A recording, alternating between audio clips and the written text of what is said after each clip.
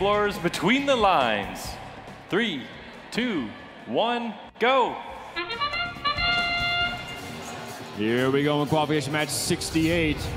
Robots pushing through the sand, looking to gain an early advantage.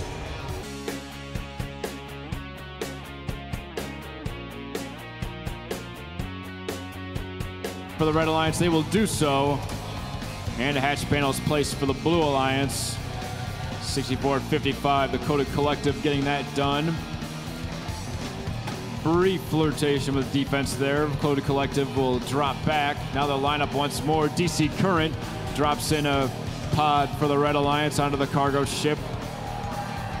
And Their teammate will do so as well on the far side. A second cargo pod on the way in for the Red Alliance on the far side of their cargo ship. That one drops off.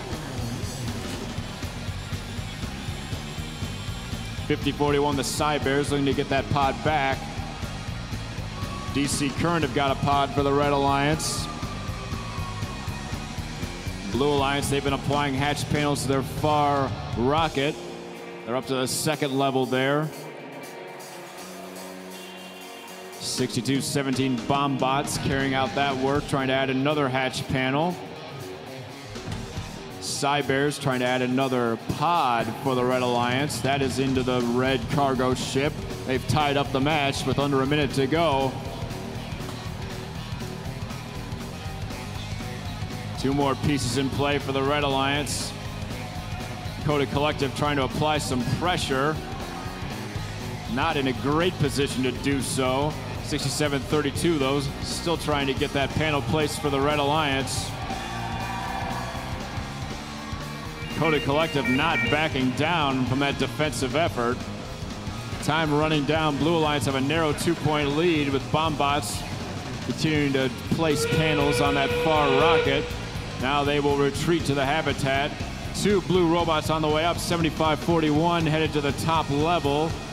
Looks like they're nearly got that set. They are. Their teammate Bombbots is on the second level.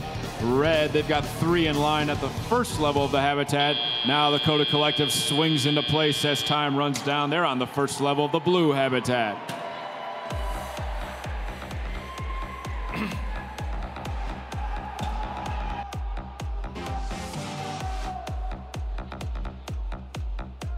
the top eight. Three ranking points to the Blue Alliance as they win qualification match 68.